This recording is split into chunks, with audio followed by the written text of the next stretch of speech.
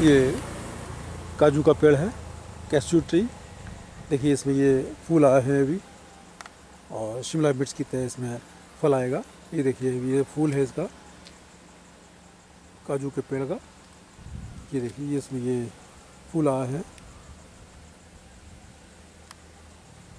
काफ़ी, बड़ा पेड़ नहीं होता है ये बट काफ़ी इसमें मात्रा में काजू आते हैं।